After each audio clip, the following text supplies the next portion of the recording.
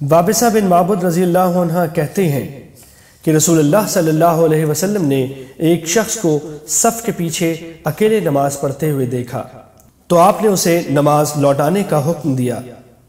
सुलेमान बिन herb की रिवायत में है, नमाज़ को लौटाने का हुक्म दिया। सुनो नबी दाऊद, हदीस नंबर छः सौ बयासी, ये हदीस सही है। अबू बकरा रज़ी अल्लाह का बयान है कि वो मस्जिद में आए और अल्लाह के नबी करीम सल्लल्लाहु अलैहि वसल्लम रुकू में थे। वो कहते हैं तो मैंने सफ़ में पहुँचने से पहले ही रुकू कर लिया। तो नबी अकरम सल्लल्लाहु अलैहि वसल्लम ने नमाज़ से फारग हो जाने के बाद फरमाया, अल्लाह तुम्हारे शौक़ को बढ़ाए, आइंदा ऐसा न करना। सुनो नबी दाऊद, हदीस नंबर छः सौ तिरासी, ये हदीस सही है। अबू बकरा रज़ी अल्लाह से रिवायत है वो मस्जिद में आए, इस हाल में कि रसूल अल्लाह सल्लल्लाहु अलैहि वसल्लम रुकू में थे। उन्होंने सफ़ में पहुँचने से पहले ही रुकू कर लिया। फिर वो सफ़ में मिलने के लिए चले। जब नबी अकरम सल्लल्लाहु अलैहि वसल्लम नमाज़ पढ़ चुके तो आपने पूछा, तुम में से किसने सफ़ में पहुँचने से पहले रुकू किया था? फिर वो सफ़ में मिलने के लिए चलकर आया। अबू बकर ने कहा, मैंने। आप सल्लल्लाहु अलैहि वसल्लम ने फरमाया, अल्लाह तुम्हारी नेकी की हिर्स को बढ़ाए, आइंदा ऐसा न करना। अबू दाऊद कहते हैं, ज़ियादुल आलम से मुराद ज़ियाद बिन फला बिन करा है, जो यूनुस बिन उबैद के खालाजाद भाई हैं। सुन नबी दाऊद, हदीस नंबर छः सौ चौरासी, ये हदीस सही है।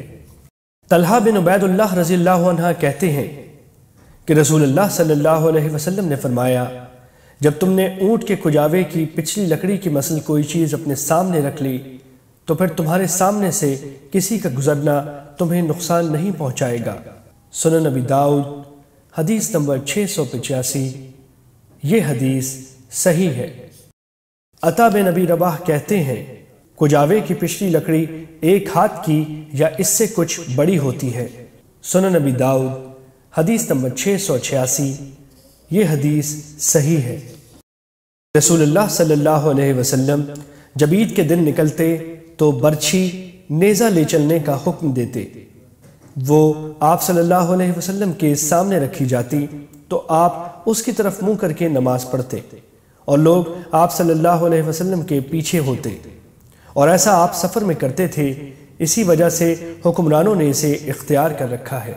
सुन नबी दाऊद हदीस नंबर छः सौ सत्तासी। ये हदीस सही है। अबू जुहैफ़ा रज़ी अल्लाह कहते हैं कि नबी अकरम सल्लल्लाहु अलैहि वसल्लम ने उन्हें बथा में जोहर और असर की दो दो रकतें पढ़ाई और आपके सामने बर्छी बतौर सुथरा थी और बर्छी के पीछे से औरतें और गधे गुजरते थे। सुन नबी दाऊद, हदीस नंबर छः सौ अट्ठासी।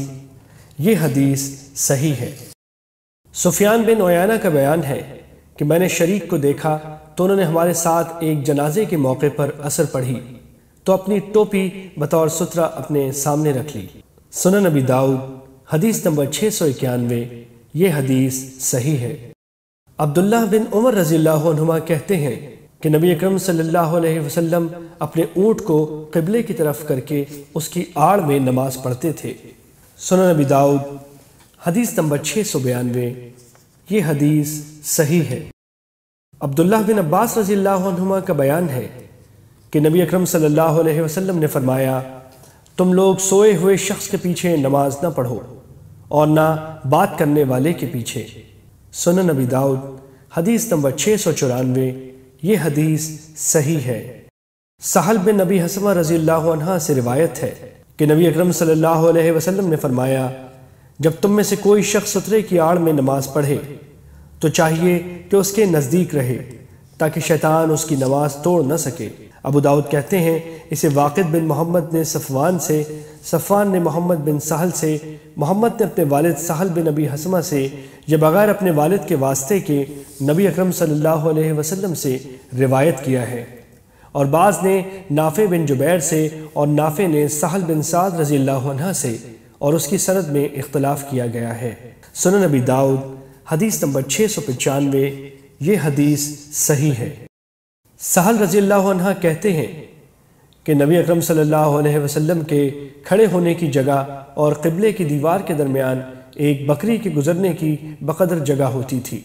अबू दाऊद कहते हैं, हदीस के अल्फाज नफीली के हैं। सुन अबी दाऊद, हदीस नंबर छः सौ छियानवे, ये हदीस सही है।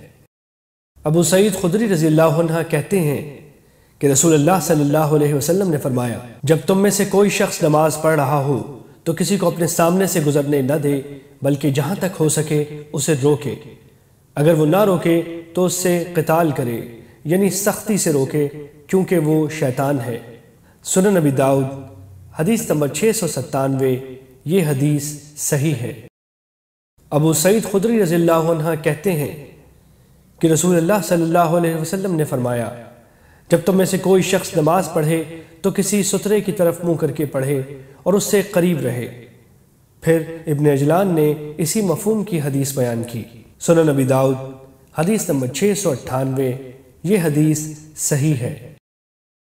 सुलेमान बिन अब्दुल मुल्क के दरबान अबू उबैद बयान करते हैं कि मैंने अता बिन जैद को खड़े होकर नमाज़ पढ़ते देखा तो मैं उनके सामने से गुजरने लगा। तो उन्होंने मुझे वापस कर दिया। फिर नमाज़ से फारिग होने के बाद कहा, अबू सईद खुदरी रज़ी अल्लाह ने मुझसे बयान किया है कि रसूल अल्लाह सल्लल्लाहु अलैहि वसल्लम ने फरमाया, तुम में से जो शख्स ताकत रखे कि कोई शख्स उसके और क़िबले के बीच में हायल न हो तो वो ऐसा करे, यानी सामने से गुजरने वाले को रोके। सुन नबी दाऊद, हदीस नंबर छः सौ निन्यानवे, ये हदीस सही है। अबू सालेह कहते हैं मैंने अबू सईद खुदरी रज़ी अल्लाह को जो कुछ करते हुए देखा और सुना, वो तुमसे बयान करता हूँ। अबू सईद खुदरी रज़ी अल्लाह मरवान के पास गए तो अर्ज़ किया, मैंने रसूल अल्लाह सल्लल्लाहु अलैहि वसल्लम को फरमाते हुए सुना है, जब तुम में से कोई शख्स किसी चीज़ को, जिसे वो लोगों के लिए सुतरा बनाए, सामने करके नमाज़ पढ़े, फिर कोई उसके आगे से गुजरना चाहे तो उसे चाहिए कि सीने पर धक्का देकर उसे हटा दे। अगर वो ना माने तो उससे लड़े, यानी सख्ती से दफ़ा करे, क्योंकि वो शैतान है। अबू दाऊद कहते हैं, सुफियान, सौरी का बयान है कि मैं नमाज़ पढ़ता हूँ और कोई आदमी मेरे सामने से इतराते हुए गुजरता है तो मैं उसे रोक देता हूँ। और कोई ज़यीफ़ुल उम्र कमज़ोर गुजरता है तो उसे नहीं रोकता। सुन नबी दाऊद, हदीस नंबर सात सौ ये हदीस सही है।